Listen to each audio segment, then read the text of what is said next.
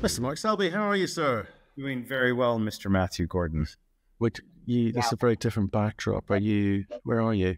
I am in Ireland on a bit of a holiday, Ah, actually. the mothership. Yes, my wife's family still ha- wife still has family here. So, And how are you finding Ireland? Uh, you know, beautiful Irish summer weather. Uh, I think Yes. today's going to get all the way up to 20 degrees Celsius. So, you know, that's that's about as warm as it gets. So, Beautiful, Yes. beautiful, beautiful. I have not been back for such a long time, such a long time. Um, and uh, okay, well, um, good, good. Well, thank you very much for making the time for, um, uh, away from your family just to, to give us an update on what's going on on the nickel world. Um, we better get into it. So, wowzers, what's Yeah, happening out there? bit of a slap. Uh, you know, I said that we are going to see, uh, uh, uh, you know, see a dip below the 19,000, but I thought we would maybe get back down to 18 ish. Um, but we've we've gone all the way down to 17.3, just under eight dollars a pound. Uh, you know, I think the key thing, and again, this is you know, copper came off 15 percent from the highs as we expected. You know, this as it got to 11,000, people talking about it going higher than 11 might have been uh, a little or a lot premature. Um, but uh, you, you know, I think a couple things. One, you know, it's seasonal. Sell in May, go away. Um, you know, that's taken a little bit of steam out of all of the the base metals, and the fact that copper didn't squeeze any higher. Uh, again, sort of, you know, uh, you know, got people to put uh, their hands back uh, on their wallets. But you know, key thing here, you know, from the beginning of the year. Uh, we're still 15% off the lows from the fall, sorry, the fall, sorry, from from earlier in the winter back in February. Um, you know, forecast uh, at the start of the year was that we'd get back up to 20,000 by the end of the year. And I don't, you know, don't, don't see that, uh, you know, that story changing at all. You know, demand's been relatively robust year to date, up 9% through the first quarter. You know, Chinese stainless production is up 15% year to date May um, for 300 series stainless. So, you know, in terms of, you know, a lot of the underlying things, you know, generally in pretty decent shape. Right. Okay. And obviously, there's a there's a bunch of other kind of variables and factors that we we talk about, um, sort of influencing market uh, conditions. So, do you want to talk about maybe Indonesia? What are we hearing coming out of there? Yeah. So I think, you know, the key piece here is, um, you know, again, always looking at prices in China just to get a sense of, of, of where that market's going, given its, you know, two thirds demand. Um, you know, with the drop in nickel price, we, we saw sulfate and NPI prices drop off a little bit, but, uh, you know, generally saw um, spreads uh, continue to converge. Uh, again, we talked starting, I think, about, you know, just over a year ago that we're going to see this great convergence and, and this is continuing uh, to come through. Um, there was an Indonesian nickel conference this the week before last. Uh, I didn't go there, but one of my team was there. Uh, and you know, a couple of the big stories coming out of that was one talking about preserving high grade. There was one minister talking about you know their higher grade saprolite material running out by um, the end of by 2029. I don't think the, the grade decline is going to be quite that severe. However, you know, I would argue that most analysts are not you know properly accounting for you know the continual grind down of average grades um, Indonesia as we move as we move forward. So I mean it's good to see that get some airtime. Uh, the other piece of it is um, uh, discussion on actually limiting uh, any new NPI smelters being built, um, and some talk of even um, you know effectively revoking permits that have already been granted for some additional units uh, going forward. It's not going to be a massive increase in, in new capacity. You know the capacity is really starting to shift to uh, MHP laterite um, uh, HPAL plants being built um, to produce MHP. Uh, so, um, but again, I think in terms of you know this you know big big increase in in Indonesian uh, supply, at least on the NPI side, I think is really starting. You know, we'll start to see that level out to some extent, um, and then we'll see how quickly the HPAL capacity ramp up. You know, I do expect it to ramp up. we need it as as a new source of supply. Um, but uh, again, th- these kind of noises out of Indonesia is really talking about limiting ore supply.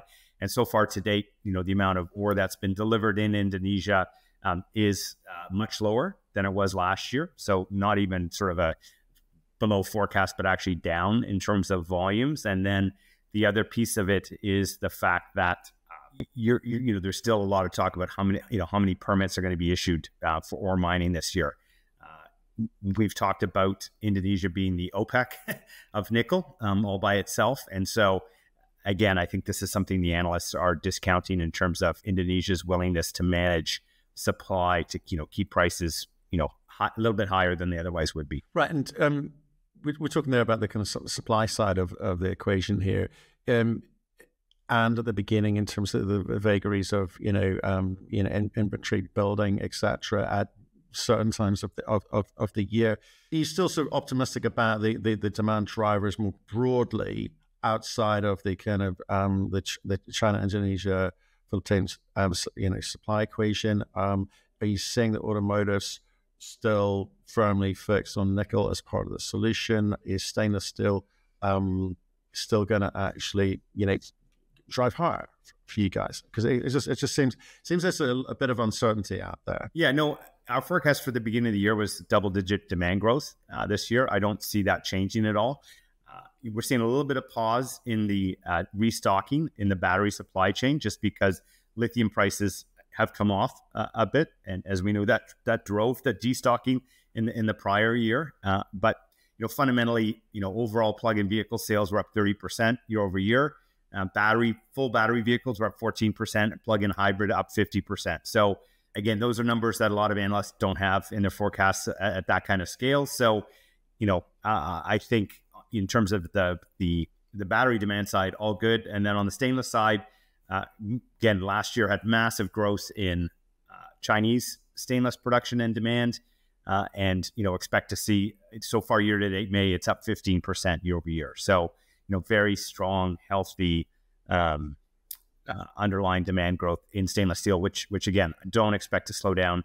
That's the one thing that most analysts have wrong. Uh, CRU just put out their uh, quarterly update, and again, I'm naming names now, uh, and they have nickel demand, uh, you know, seven or eight percent, which is not bad for the next three years, but down, falling down to effectively what's trend nickel demand of four to five percent. And what's pulling that number down is they only have stainless steel production growth two to three percent um, by 27, 28, which again is one third of, of what the historical trend is. Again, stainless steel is a high strength, you know, a long life, highly recyclable material. And so, you know, if anything, it, it's it's gained market share for a very very long time, and you know we don't see that slowing down anytime soon. So to your question of of of in terms of the you know demand forecast for the year, yeah, no no change at this point in time and, and, expect to see you know double digit demand growth by the time we get to year end. Okay, and also Bloomberg jumping um, on on the bandwagon here. Um, they they recently I think video article commenting on the Indonesian uh, nickel sector. Um, headline quite aggressive. The deadly mining complex powering the EV revolution.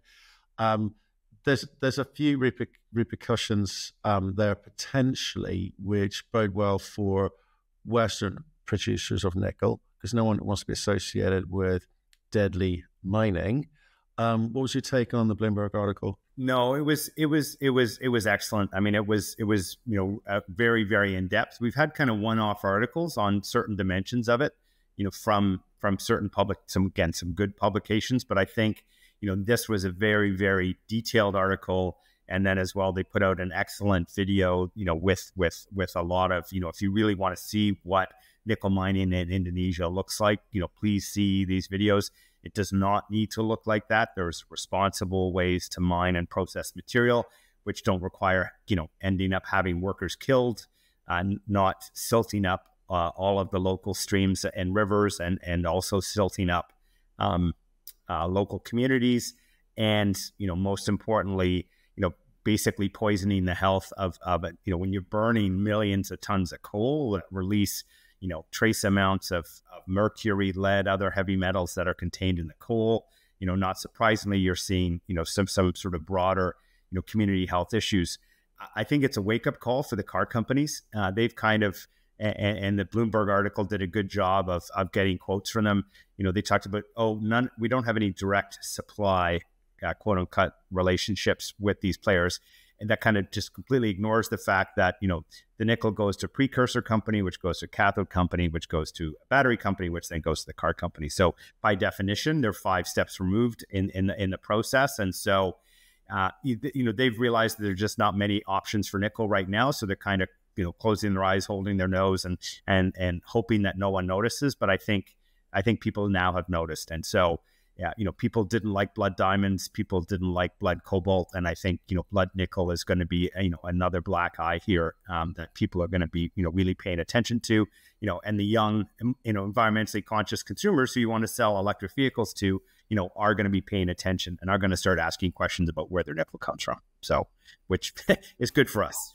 Yeah. Yeah. No, I, I will put um, links to the article and to the video um, in, in there because it raises some pretty important questions about the ethics and hand washing and you know dist- distancing, but ultimately still taking the, the the the product because it's it's it's cheap. Um, but yeah, not would would not be good form from the car manufacturers. Um, talking of which, how are they doing out there? Are they selling? Yeah, I mean, you know, we've seen uh, electric vehicles. Again, China was the big driver April year over year, but global demand was still up five percent in most of the other global markets, uh, other markets globally. Europe had some sub. Germany, in particular, had subsidies come off, so you know, there's there's a little bit of um, you know, sort of pull forward that happened last year that didn't happen this year. So. Uh, again, you know, sub the, the, the, massive doom and gloom um, that was was there um, was you know not necessarily um, warranted. And and the other piece is you know we're seeing a shift from from full battery electric vehicles to more plug-in hybrids, um, which you know again in a lot of markets is a is a is a more feasible uh, option. Uh, just because you can continue to drive on a gas motor if they aren't able to charge up, and so that that still means they're not the batteries aren't as big, but you know people are you know still deploying lots of batteries. So if you look at the amount of nickel being deployed in batteries, uh, you know that that's still growing at a pretty healthy clip, and that's ultimately you know what we want to see going forward. Right. Okay. So the, the, I, think we're hearing the same thing ac- across the whole um, battery spectrum when we speak to um, different CEOs and different um, uh, cons- consultants are saying the same thing. So um, hopefully that continues um, as it is. Uh, I agree with you. I think in some instances, actually, the hybrid uh, cars are taking up more metals um, as a result because they have to cover, the bases. Uh, let's talk about stainless steel. That's the kind of big driver. Um, China still on track with double digit growth there. Yep. So up 15% year to date May for the, the nickel containing series and, and up 12% overall. Um, obviously, it's the nickel containing 300 series uh, high, high nickel containing. That that's the most important. Again, that's continuing off a pretty strong growth in in 2023, uh, uh, which you know to me just reinforces the fact that you you know analysts continue to underestimate you know what global stainless demand uh, looks like, and, and we should con- continue to see global, you know, robust growth uh, going forward. Right. Okay. So, and, and, you, and are you going to call anyone out this time? Are we? we've, we've had a few few moments like that from you. Is your expectation that uh, maybe they, people will kind of start paying attention and um, yeah, I, get it right? Beat up beat up on CRU a little bit um, earlier yeah. in the thing. So yeah, I, again, you know, having stainless you know, stainless demand, stainless production growth dropped to two to three percent a year by you know out in the 27, 28 timeframe makes no sense. Uh, you know, if you put if you put you know trend stainless production growth uh, out that way guess what you end up with markets in deficit so uh, that's you know that's that's where we are that's what we believe in and and again hopefully these guys once the consensus starts to move that way will start to update their you know forecasts in a way that makes makes makes uh, much more sense. Okay, right. Well, let's move on to happy, happier things like uh, com- company news. I think people really like this bit from you. Um, start with Magna Mining. What's the yeah, news so, there? So a couple of good pieces here. So um, Magna is moving forward with their advanced exploration, uh, advanced exploration uh, drift. Um, so they're going to be pulling out 20,000 tons from 109 footwall zone. Those footwall zones are pretty high grade. Um, so they should get a pretty nice chunk of change from that. So they've awarded a contract uh, to, to start um, start um, um, driving that uh, that drift down into uh, the area that they want to mine. Uh, they're continuing to dewater uh, that operation, and, and, that will allow them, you know, to eventually reopen the mine. They acquired that from Sibanye Stillwater a few years ago, and they've had some pretty good drilling success. So, you know, nice to see that continue to move forward uh, in the Sudbury Basin. Uh, one of our neighbors, EV Nickel, who's got their CarLang deposit, uh, they were testing another area of one of their big bulk ultramafics, um, and they had surface grab samples Uh, and again, 79% of the assays were 0.24 better, which, you know, for, for the type of material that we have, that uh, that is good grade. And, and some of the grades went all the way up to 0.34%. Uh, one of the other ones uh, globally that, that has one of these bulk tonnage um, deposits is uh, Western Mines Group. So they've got their Mulga tank uh, deposit. what was interesting a few weeks ago, they put out some drill holes where it looks like they've hit a higher grade area at the contact of, of where the deposit sits next to the host rock. Um, that is where you would typically expect to see that kind of high grade show up. Um, they put out a release today or yesterday saying they've halted the stock until Monday. So, um, you know, we, we will see uh, what comes out news release wise. Um, it, again, good to see uh, more of these types of deposits uh, moving forward. Um, and then at, at, the high end, at the high grade end of the spectrum, uh, you've got Lunnon Metals putting out a resource uh, on Baker. Um, that sits at the end of the Kambalda complex uh, at the other end from uh, where the Beta Hunt mine uh, that I used to uh, operate with RNC Minerals and a nice initial resource at their Baker deposit, which is a million tons at 3.3% nickel with some copper and cobalt, and, and, all of that within 350 meters of surface. So, you know, not too deep at that point. So, again, good to see more nickel sulfide projects moving forward. And then on the financing front, uh, nice to see some chunky checks uh, being written. Uh, again, both of these are at the higher higher grade end of the spectrum. So uh, Power Nickel um, on the back of the high grade copper PGM hits that they had with you know a little bit of nickel. Um, they've just completed a $20 million flow through financing, which was uh, great to see for Terry.